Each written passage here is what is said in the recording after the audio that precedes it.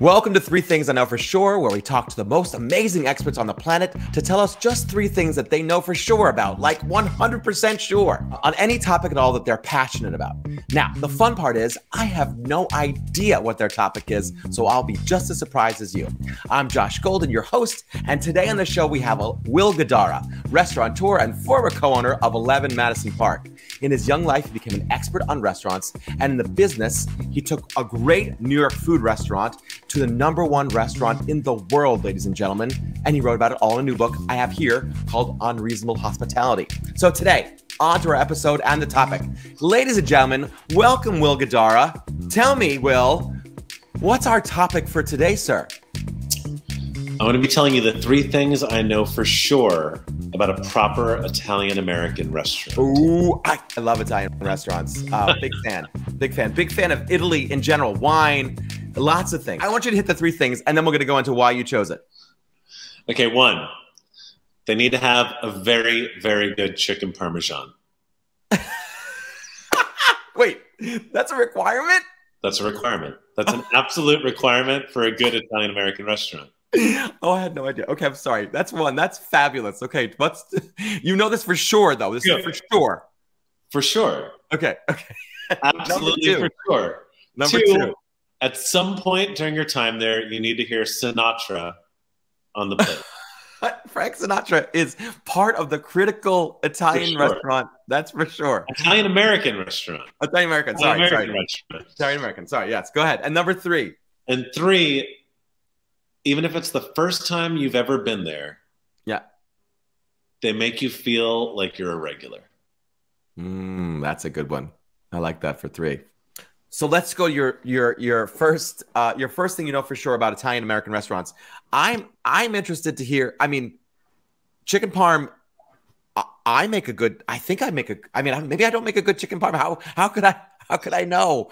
I I am I am. Uh, can you share with me how to make a better chicken parm one and then uh, uh, if you can expand into why chicken parm i mean it's number one on your list will i mean geez this is a high priority item well no no no because i think in a restaurant's chicken parm an italian american uh, sorry italian american restaurant this is the clarity yeah no it's it's an important clarity because there's like that's that makes the restaurant very specific i think the chicken parm tells you a lot about the restaurant and so let me unpack this for a little unpack, bit. yes. Um, a chicken parm is in many ways a pretty simple dish, right? It's the chicken, the breading, the sauce, and the cheese. Right. Not that much going on. Um, what I love about Italian American restaurants is when you look at all of their menus, they're basically all the same, mm. right? Um, and Italian American restaurants, the great ones, most of them have been there for a very, very long time. Um, and almost all of them have chicken parm on the menu. Um, it says a lot about the ethos of the people behind the restaurant, how good the chicken parm is, for the following reasons. When when a chef makes the same dish over and over and over and over again all night, every night for years, right? One of two things happens. In one case, they get bored, they start to phone it in, and something that may have started being great gets more and more and more mediocre. Hmm. The other kind of person, though, looks at it as an opportunity every single day to take this thing and make it marginally better. And over the course of time, that restaurant is suddenly serving something iconic. There's a movie, uh, Jiro Dreams of Sushi. I'm not sure if you've yes, ever. Yes, I've seen it uh, at the Subway sushi creator in Japan. Yes. Yes. And like when you hear him talk about cooking rice, and how it took him decades to learn how to cook the rice just so. Right, right, right. There's there's unbelievable passion, right? People that derive significant pleasure out of repetition. They don't get bored by it, but they find like this well, like beautiful art form, right? It's like pottery, making yeah. the perfect perfect bowl. Uh, uh, you know, there is something there is something meditative yes. about doing the thing that's seemingly simple from the outside observer, like tap dancing. Oh, it seems so simple to do. You yes. try to tap dance, you're like, well, I really can't do this at all. yeah, and I would I would argue that making rice seems a lot simpler than, than tap dancing. But but so chicken parm, I, I put like right in there, right? So you look at the chicken parm, it's the breading, the flavor of the breading, how crispy the chicken gets. It's the sauce, right? The sauce is a cornerstone of any Italian American restaurant. How and they make a lot of sauce, I'm guessing. They do a lot of sauce making. Yeah, and the sauce kind of defines the restaurant. Oh, I'm uh, sorry. Let me ask a question. Do they change the sauce depending upon whether it goes with the chicken parm or does it just go with the pasta? Is that different? Most of the time you have your tomato sauce. I mean, like, listen, there's okay. different sauces for different pastas, but the tomato sauce is the tomato sauce. Awesome. Um, then what mozzarella are you buying? What Parmesan are you buying? Mm. Um, is it seasoned just right? Is it all in the right proportions? Not so much sauce and cheese that it kind of makes the chicken itself soggy. I I just think that if you go to a restaurant that's been there for a long time, serving the same dish tens of thousands of times, yeah, still look at it as an opportunity to take something simple and make it great. You know you're in very capable. Yeah, it's when you think about the complexity or the simplicity of the dish and then how to you know, without adding on like fusion elements from like soy sauce in there. Not that that's is that a thing? I don't know. Anyway, uh, uh, uh the the that thought is super super cool. I want to move you on to number two. Well, then I just want to add one more thing. Yes, like please. it is easier to impress people, and this isn't just about food. This is about like creativity generally, by just throwing more stuff on the plate. right? It's easier. It's easy to it if you just throw make make it more complex looking. More complex, more complex, more complex. You can like awe people, but right. the less things on the plate, the less things you're doing, the less creative moves you're pulling off. Yeah, the perfect every one of those elements needs to be. Huh. Um, oh. And oh. sometimes I think a lot of places they rush to innovate and evolve and reinvent mm. before they've actually perfected the foundation of who they are. Fascinating. So I'm a big fan of music. Uh, uh, uh, everyone who knows me knows this, but uh, Frank Sinatra uh, uh, is a. Requ- I'm sorry. So you require it's required. It's an absolute requirement.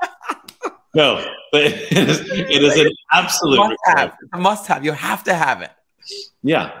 Let me and hear I'll, why. What and I'll tell you why. What makes? Have you ever gone to see one of your favorite bands? Bands, just like overall bands in life. The band generally, like a yeah, famous band. Yeah, you ever like seen, yeah. I've always seen Rolling many, Stones many... play or Neil Young or Bob I Dylan. Just, I saw Billy Joel a couple years ago. Uh, that was awesome for me. Okay, so I, imagine I, if you went to see Billy Joel. Yeah, and he had just recorded a new album. That would be surprising because he hasn't done that for like forty years. But okay, let's say he did. And the only thing he played at the concert were songs off the new album. How would you feel? I would I would, there would be, I would be excited to hear the new stuff, but I'd be like, I want to, I want to hear Vienna. Yeah. You want to hear Vienna. You want to hear Piano Man. Piano you Man want to hear yeah. like the yes. things that There's you love. a collective, cooperative. We all feel the same way about this song. All the fans, sort of this collective unconscious, all all together feeling the same way about the song. So, this is my belief about how to serve people. I think it's appropriate to feel like an opportunity or a responsibility to introduce people to new things. Right. I do. I also think you need to give people what they want, which is Frank Sinatra. And when I'm eating an extraordinary chicken parm, if I don't hear Sinatra at some point in that meal, they are not giving me what they what I want. I don't feel seen. I feel like they're trying so hard to introduce me to new things that they're not serving me in the way that I want to be served. Huh.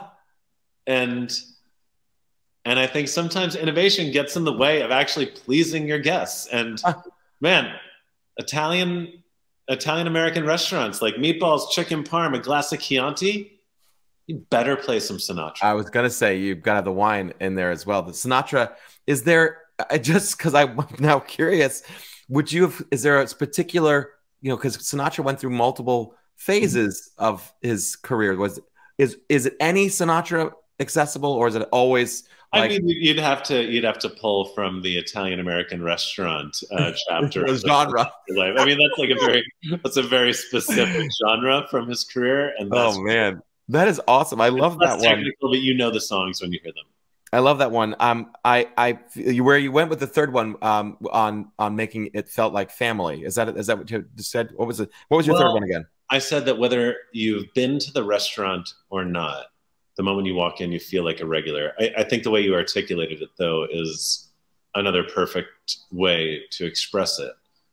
That when you go to these places, you feel like family. Yeah, and when I, I read your book, um, it was a little. Uh, gosh, I was I I've been I'd been to 11 Madison Park, um, uh, and I didn't realize the intensity. I, am not. I hope this is a spoiler alert, but in the book, you talk about how you actually um, researched the individuals that would come to the restaurant, a little bit of Google stalking, and so that when they arrived, they would be greeted by name and then ushered without a podium. Uh, this is the change. Without a podium, yes. ushered uh, uh, to their table.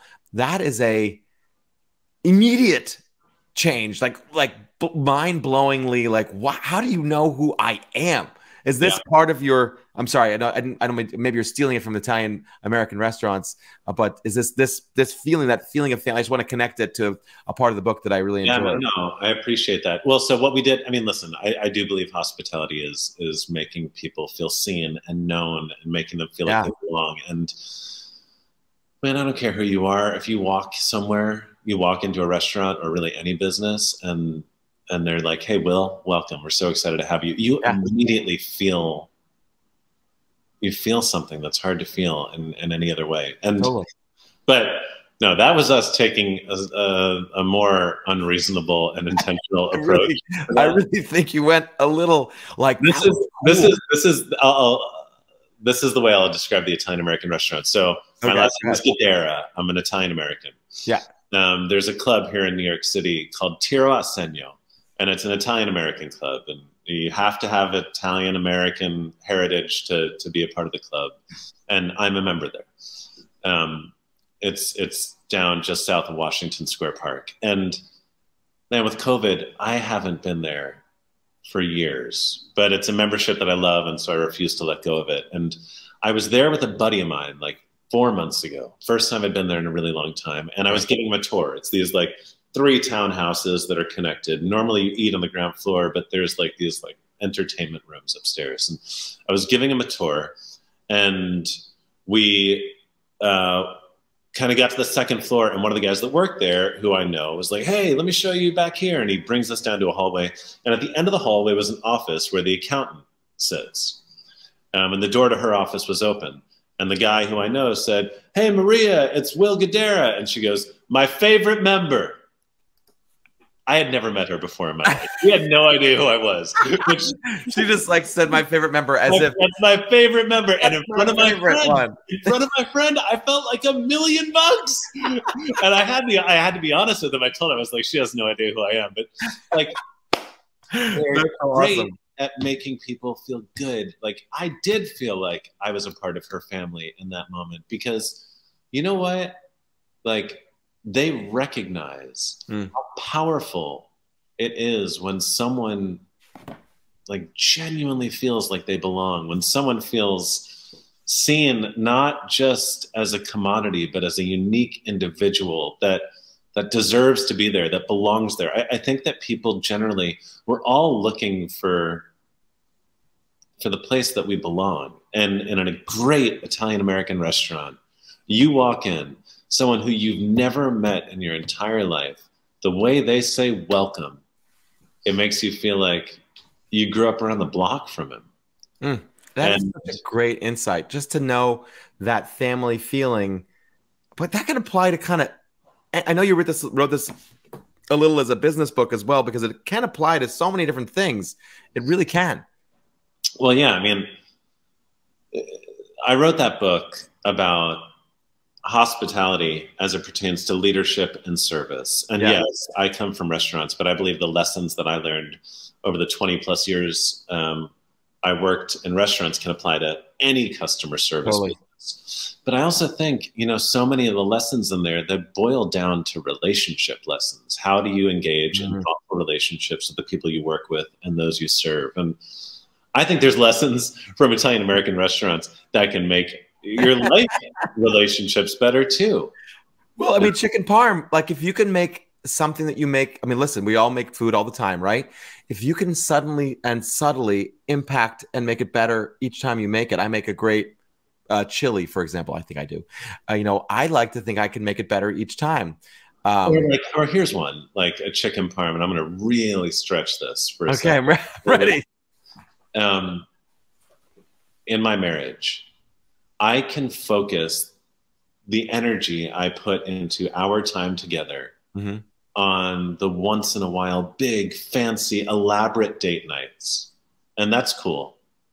But if I haven't figured out how to maximize just the normal Wednesday night we have together in our mm. apartment and figured out how to make those nights as special and meaningful as possible, I haven't earned the special date nights, right? Like I would rather have mm. five quality connective nights with my wife a week than one every month. And it and it it really requires like putting just as much creativity and intention to the simple things as you do to the complicated things.